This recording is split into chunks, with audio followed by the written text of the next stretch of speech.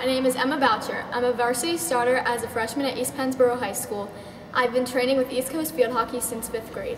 I have a greater than 4.0 average in all honors classes, and my dream is to play field hockey at the collegiate level.